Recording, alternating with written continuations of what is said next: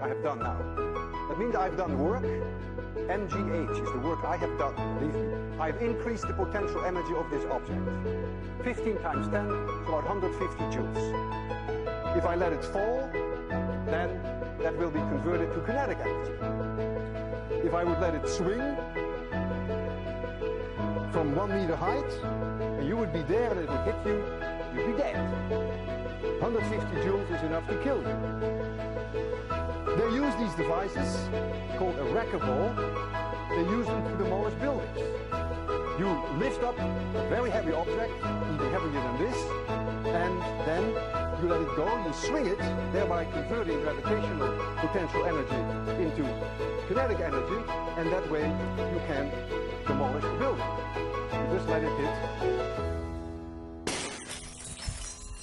and it breaks a building. And that's the whole idea of wrecking.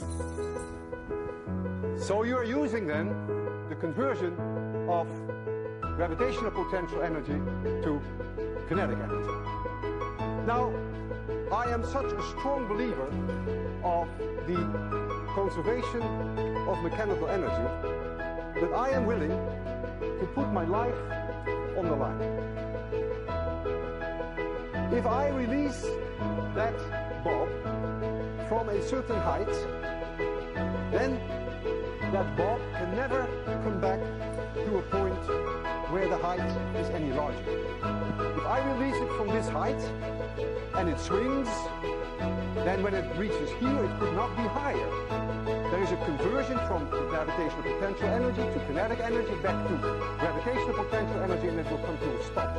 And when it swings back, it should not be able to reach any higher. Provided that I do not give this object an initial speed when I stand here. I trust the conservation of mechanical energy for 100%. I may not trust myself. I'm going to release this object, and I hope I will be able to do it at zero speed. So that when it comes back, it may touch my chin, but it may not crush my chin. I want you to be extremely quiet because this is no joke.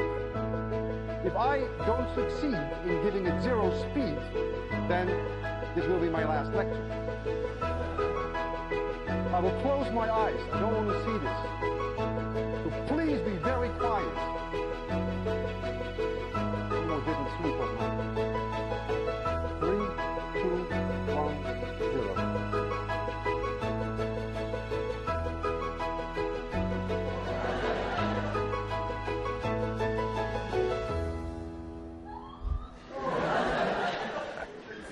Physics works, and I'm still alive.